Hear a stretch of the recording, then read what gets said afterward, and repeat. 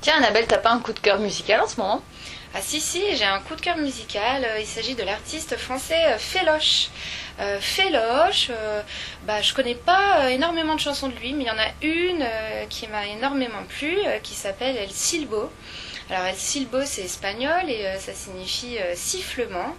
Et en fait, avec le clip, on peut bien plus réaliser de, quoi ça parle.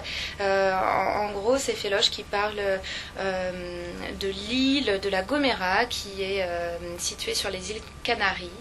Et il explique que les habitants de, de cette île euh, utilisent donc El Silbo, un, un sifflement, pour communiquer entre eux. Donc voilà, dès qu'ils ont besoin de communiquer, ils sifflent, ils chantent comme les oiseaux, et ils arrivent à se comprendre, et ils se retrouvent entre eux. Voilà, et c'est très, euh, c'est très, c'est très beau, c'est un peu poétique. Ça rappelle les voyages, donc c'est un bel hommage à cette île. Elle me plaît beaucoup. Ça donne vraiment envie d'écouter la chanson. Tout Merci beaucoup. Il faut l'écouter.